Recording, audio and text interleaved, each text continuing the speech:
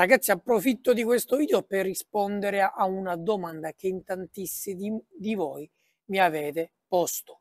Questi pannelli solari fotovoltaici possono essere collegati in serie e parallelo? Allora ragazzi, in linea generale sì. I pannelli solari possono essere cablati e connessi in serie e parallelo, ok? Nel mio caso sono tutti connessi in serie. 10 una stringa, 5 l'altra stringa. Io non amo la connessione parallela dei pannelli per vari fattori. Nello specifico comunque chi opterà come me all'utilizzo di inverter eh, ibridi, sappiate ragazzi che questi inverter ibridi accettano alte tensioni in ingresso delle stringhe, ma medie correnti di stringa, cioè se un pannello, se una stringa di pannelli mi dà 10 ampere, ok? Se io metto due stringhe in parallelo arriva a 20 ampere, ok?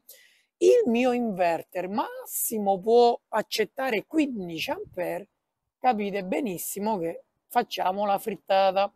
Questo sta a significare che i pannelli in parallelo tante e non quanto. Grazie oggi alle tecnologie, a questi inverter ibridi, conviene più fare doppia stringa, come ho fatto io, e non installare i pannelli in parallelo. Perciò, nel mio caso, avevo 15 pannelli. Cosa ho fatto? Una stringa da 10, una stringa da 5, mantenendo la corrente a 10-11 ampere il mio inverter massimo ne può accettare 15, perciò ragazzi ci sto dentro alla grande, però ho avuto, diciamo, eh, la buona cosa di suddividere le stringhe. Questo cosa sta a significare? Che numero uno non sovraccarico gli inverter, le linee, i cavi. La potenza si suddivide in due eh, impianti distinti e separati, in più con l'installazione che io ho scelto di fare, vedi, questi a terra producono benissimo in estate, quelli sopra, in alto, producono benissimo sia in estate che in inverno.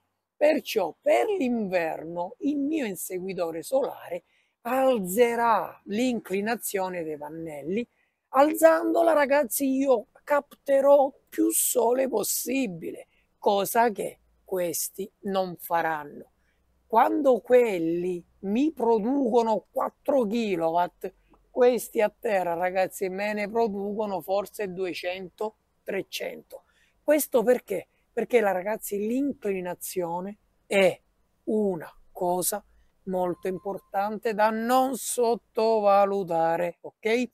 Considerando le dimensioni del mio terrazzo e che eh, ho preferito montarli così a terra, come scelta ulteriore potevo anche dotarli di... si stanno alzando, si stanno sollevando in questo momento. Comunque potevo anche dotarli di una struttura di sollevamento automatizzata. Però ragazzi ho scelto di no.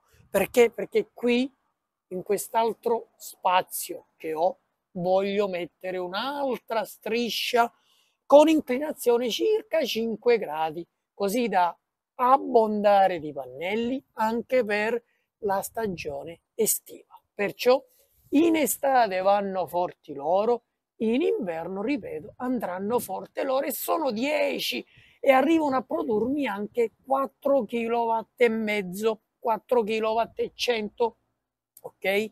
Perciò ragazzi, questo è il tutto. Se siete interessati anche voi all'impianto fotovoltaico off-grid, iscrivetevi, mi raccomando, abbonatevi al canale se volete eh, sostenermi, continuate a seguirmi perché arriveranno grandi, grandi novità grazie alle collaborazioni degli sponsor, sia da Lipo, VMR, ma ce ne sono tantissimi altri ragazzi che a breve vi presenterò. Ciao ragazzi, al prossimo video.